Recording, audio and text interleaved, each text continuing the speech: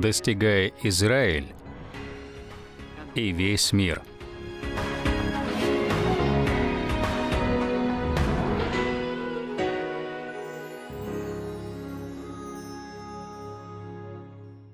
Шалом, возлюбленные, Брухим Бахаем Бешем Адонай. Добро пожаловать на программу «Узнавая еврейского Иисуса». Добро пожаловать во имя Господа. Синтия, сегодня мы поговорим о том, что очень часто Божьи суды — это подарок для нас. Если человек будет судим только в самом конце, тогда у него не будет шанса прийти к Господу, и, конечно же, это трагедия. Богу не доставляет удовольствия смерть нечестивого человека. Но Божьи суды в жизни праведников становятся для них спасительной благодатью, потому что эти суды заставляют нас взвесить свою жизнь. И в результате этого мы можем покаяться и осветиться. Но, думаю, многие верующие не понимают, что такие методы Бога очень нам нужны. Поясни, пожалуйста, для чего они нам вообще нужны в этой жизни? Да, да. Самое важное — всегда помнить о Боге в любой ситуации.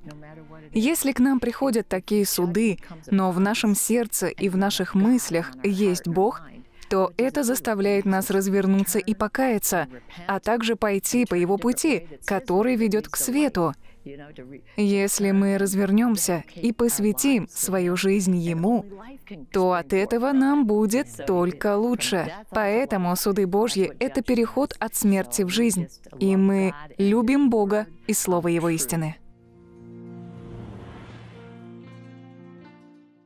Шалом, Уврахам! Мира и благословения вам! Сегодня мы продолжаем серию программ, которую я назвал «Песнь Анны». На основании первой книги царств. На русском «Анна», а на иврите «Ханна». Носителям английского языка этот звук «ха» дается не очень просто — Итак, песнь Анны. Если вы не слышали первую проповедь в этой серии, то обязательно послушайте ее. Вы можете найти ее на нашем сайте или на YouTube. Это очень важно, потому что в прошлый раз я заложил основание того, как следует понимать образ мышления Анны. Как я уже говорил, Анна не могла забеременеть.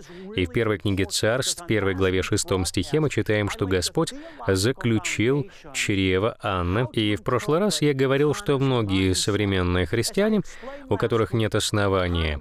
И знаний теологии Ветхого Завета, думают, что все плохое приходит только от сатаны, а Бог не имеет к этому никакого отношения, потому что Бог делает только хорошее. И часто они не понимают, что некоторые происшествия, которые они считают плохими, являются на самом деле частью Божьего плана. И сейчас они могут казаться плохими, но у Бога есть вечная цель, и Он использует то, что нам кажется плохим, для чего-то хорошего в нашей жизни. И мы не можем войти в это хорошее без временных плохих ситуаций. Получается, часто то, что кажется нам плохим, является благословением. В прошлый раз мы очень детально поговорили об этом и пришли к выводу, что нам, христианам, нужно понимать, что очень часто Божьи суды — это дар от Бога. К примеру, если у родителей проблемный ребенок, то зачастую это потому, что его никто не дисциплинировал или не наказывал. И иногда Бог таким же образом приносит свой суд или наказание в жизнь своих праведников, чтобы исправить их. Поэтому Божьи суды и наказания просто необходимы. А если бы Бог не наказывал за грех, как это показано в Ветхом Завете, то он не был бы высоко моральным Богом. Для того, чтобы Бог оставался и дальше святым и высоко моральным Богом, грех должен быть наказан. Поэтому Бог излил наказание на Иешуа, Мессию, за наши грехи. Обо всем этом я говорил на прошлой неделе. Анна понимала обе стороны Бога. Она понимала, когда с ней происходило что-то хорошее, то это было благословением от Господа но она также подчинялась Богу посреди трудностей, видя в них Божью, суверенную цель для ее жизни. Перед тем, как мы пойдем дальше, напомню, что в первой книге царств, в первой главе, шестом стихе, сказано, что именно Господь закрыл утробу Анны. Они были готовы признать, что Господь закрыл утробу Анны, и от этого ей очень тяжело. В первой главе книги царств мы находим Анну, плачущей в храме. Она взывает к Богу и умоляет Его дать ей ребенка, обещая посвятить этого ребенка Богу, если он откроет ее утробу. Опять же, она приписывала все, что с ней происходило, Богу и Его суверенному царствованию над всей землей.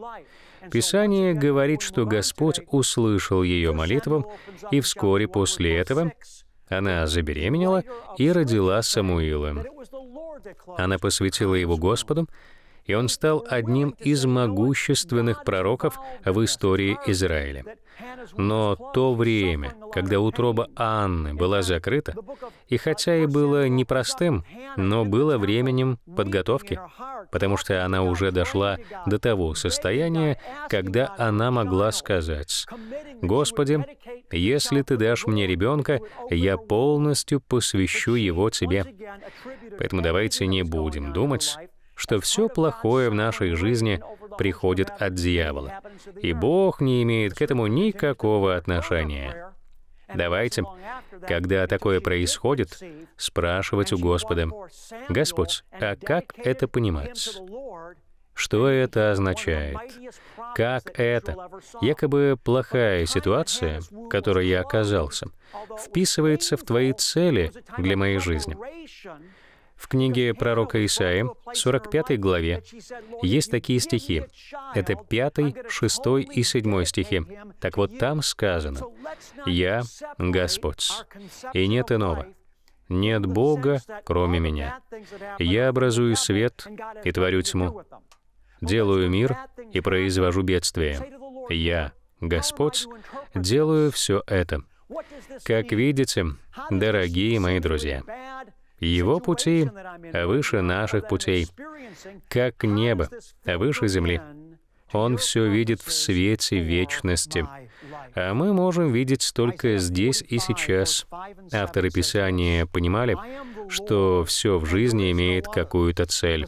Например, когда израильтяне проиграли какой-то бой, то не потому, что враг был сильнее их, а потому что с ними было что-то не так, и им нужно было извлечь какой-то урок из всего этого.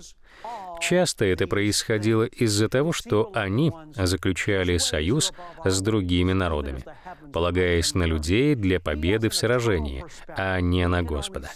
Я просто пытаюсь настроить вас на еврейское мышление. Бог суверенный. Он Бог, и нет другого Бога. Что бы ни происходило в нашей жизни, давайте, как и Анна, обращаться к Господу и узнавать Его взгляд на ситуацию. Давайте не будем винить во всем дьявола, а осознаем, что даже если дьявол и причастен к этому, то только с разрешения Бога. Как сказал Иисус Понтию Пилату, «Ты бы не имел надо мною никакой власти, если бы она не была дана тебе свыше». Так и в нашей жизни ничего не может произойти без разрешения Бога. Писание говорит, что ни один воробей не падает на землю без ведома Отца. Поэтому нам нужно искать ответы только у Бога а не иметь двойственное мышление о том, что Бог и дьявол, каждый из них ведет свою игру, независимо от другого. Иногда Бог позволяет сатане сделать что-то, потому что у него есть более высокая цель. Так вот, возьмем, к примеру, жизнь апостола Павла. Павел пишет, что посланник сатаны был дан ему, чтобы доставлять ему мучения в теле. И он молился Богу о том, чтобы Бог забрал это. Господь, забери эту боль, эти мучения, этого посланника сатаны, это жало во плоти. И Павел пишет, что ему открылось, что именно Бог послал ему это жало во плоти, чтобы он не превозносился из-за изобилия откровений, которые он получал от самого Господа. Когда мы получаем такие откровения, естественная реакция нашей плоти — это раздуться, возгордиться, но чтобы Павел не стал превозноситься, чтобы защитить его от этого, Бог послал посланника сатаны. Заметьте, как они сотрудничают. Бог суверенный, но он использует сатану для своих целей. Сатана рад возможности помучить Павла, но у Бога в этом есть более высокая цель, и эта цель во благо. Итак, Приходит посланник сатаны, чтобы не дать Павлу возгордиться. Павел обратился к Богу в молитве и попросил убрать это, но Бог ответил, «Нет, моя сила будет совершенствоваться в твоей слабости, и моей силы будет тебе достаточно». И затем Павел говорит, Тогда я буду хвалиться моей слабостью, потому что в ней совершенствуется Божья сила. Но теперь-то вы понимаете, что я пытаюсь до вас донести? Давайте не иметь двойственного мышления и не приписывать что-то дьяволу. Я не говорю, что дьявол ничего не делает, но во всем, что происходит, нужно спрашивать Господа. Господь, а что Ты хочешь этим сказать? Что Ты пытаешься донести до меня, потому что я знаю, что Ты все обратишь мне ко благу.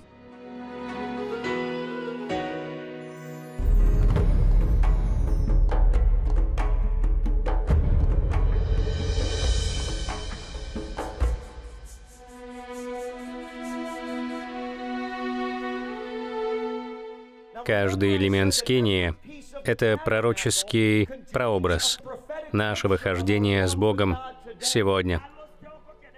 Самое удивительное учение, которое пробудило нас, это учение о скинии Равина Шнайдера. Этот забор символизирует разделение, которое происходит в жизни человека из-за греха. Я всего раз в жизни слышала о скинии, но я никогда не слышала полного учения. Значение скинии принесло новый и богатый смысл нашему спасению. Затем служитель клал свои руки на голову животного. Сегодня я узнала о жертвенном агнце. Когда-то люди приходили и произносили свои грехи над ним. Когда агнца приносили в жертву, человек был чист от своих грехов. Агнец — это Иисус Христос. Он пролил за нас свою кровь. Заметьте, что был только один вход. И этот единственный вход символизирует Иисуса. Давайте скажем это вместе. Иисус. Иисус.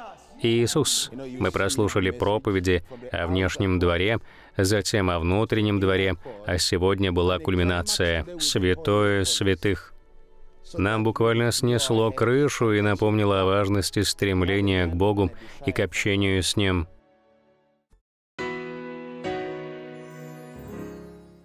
Итак, вернемся к нашей теме «Песнь Анны» или «Песнь Ханны».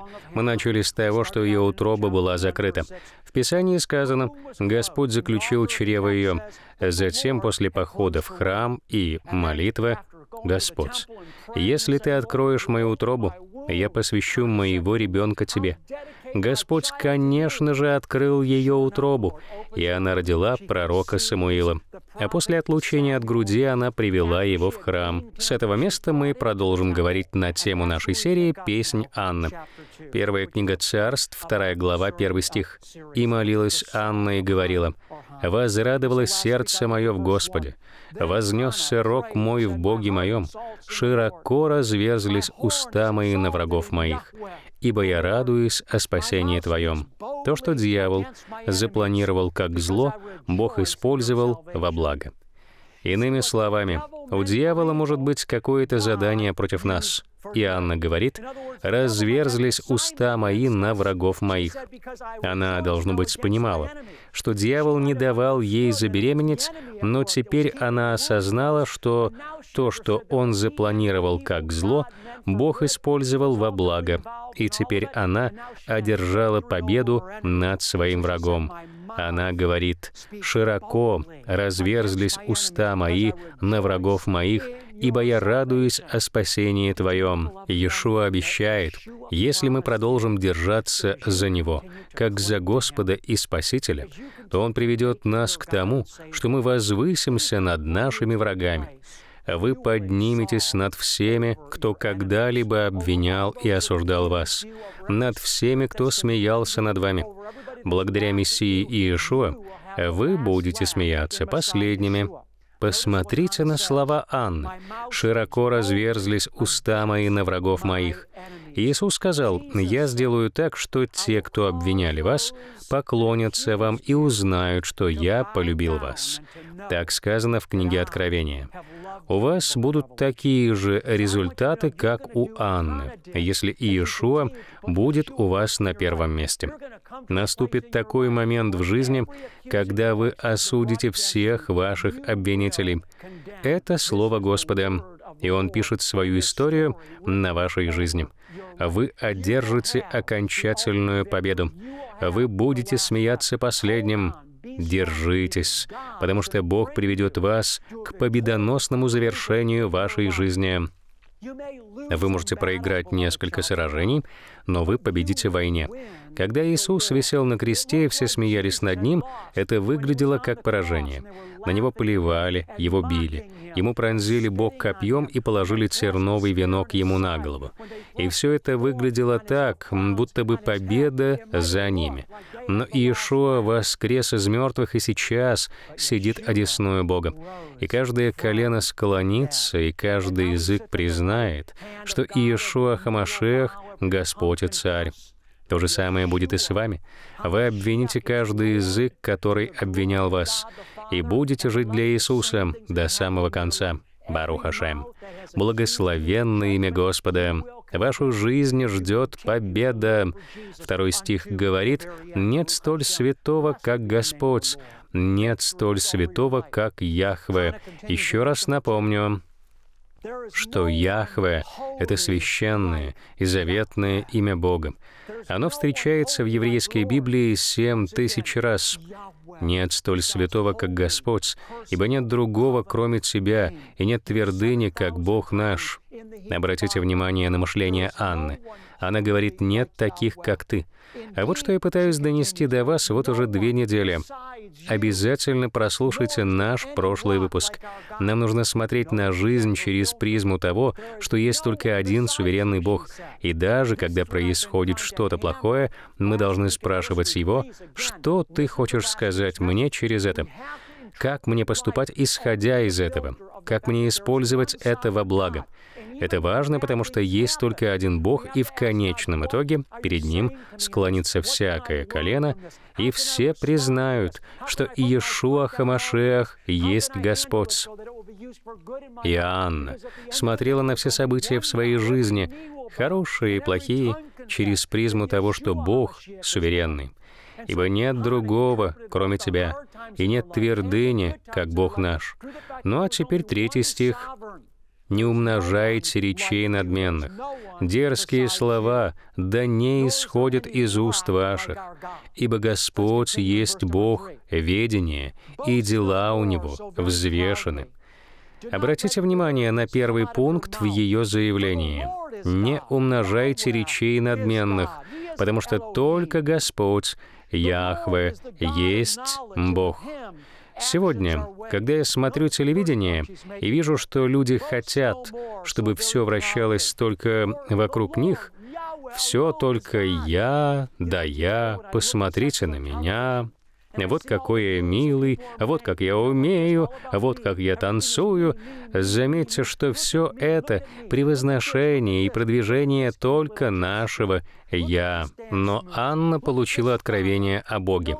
И вот какой была ее реакция на это откровение. «Нет столь святого, как Господь, ибо нет другого, кроме Тебя. Не умножайте речей надменных, мне интересно, когда весь мир предстанет перед Яхве, обнаженный без прикрас, и увидит его во всей его силе и славе, Сколько из людей будут вести себя так, как они ведут себя сейчас? Сколько будут поддерживать тот же образ, что и сейчас? Нет, все это изменится сразу и очень радикально. А знаете, какая самая лучшая реакция на Бога? Это молчание. Лучше всего молчать перед Ним. Так поступил Иов, когда Бог дал ему всю полноту откровения. Иов пытался понять, что с ним произошло. Он говорил разные вещи и даже обвинял Бога. А вот оно, молчание.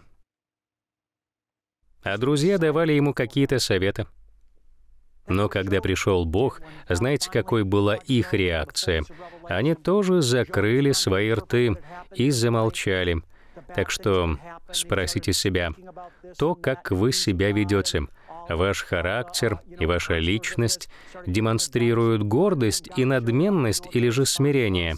Вы живете так, посмотрите на меня, посмотрите. Пытаетесь ли вы выделиться своими движениями? Может, выражением лица и другими модными вещами. Как вы будете чувствовать себя, когда предстанете перед Господом, будете говорить, «О, это я, смотрите, я». Будет ли ваше поведение и ваша подача себя считаться модной или чистой и святой, приемлемой для самого Бога? То, что вы делаете сейчас, сможет выстоять перед Господом в полноте Его силы и славы. Выстоит ли? А ваше поведение, то, что вы принимаете в свою жизнь, или смотрите по телевизору, люди, на которых вы равняетесь по жизни, способствуют ли они развитию вашей гордости, высокомерия, эгоизма и эгоцентризма? Если то, какой вы сегодня, и то, чем вы занимаетесь сегодня, не сможет устоять перед Богом в последний день, то это означает, что вам нужно изменить свою жизнь. И чем скорее, тем лучше. То, чем мы занимаемся сегодня, должно выстоять перед Божьей силой, когда мы встретимся с этой силой.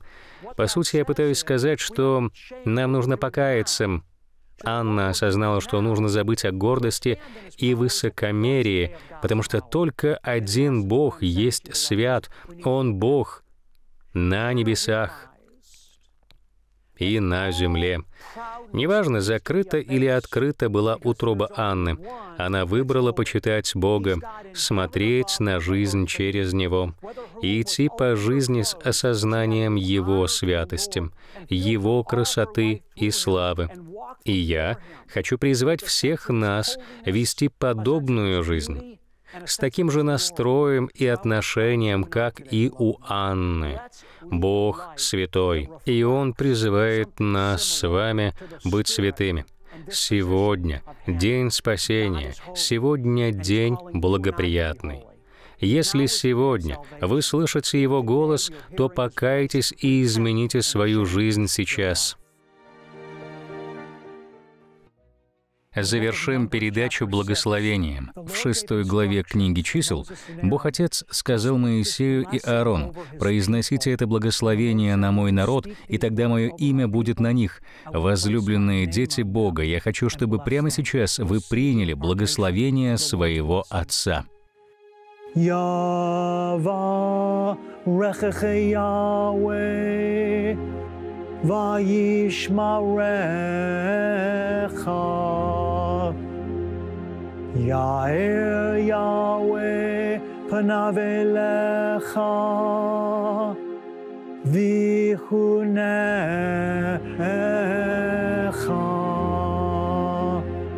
Yisa Yahweh panav elecha ve'asem lecha. Шалом.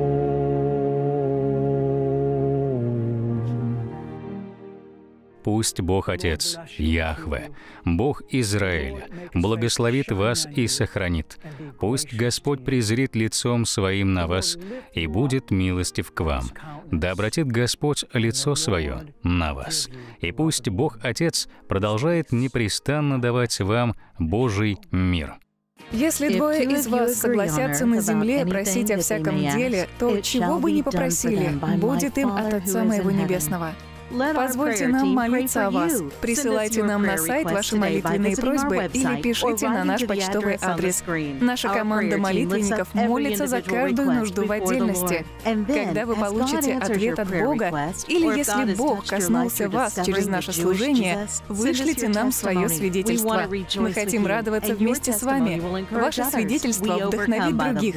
Мы побеждаем кровью Агнца и словом свидетельства своего. В следующий раз вы узнаете о том, как держаться за Господа даже в самых трудных ситуациях. Не пропустите программу «Узнавая еврейского Иисуса».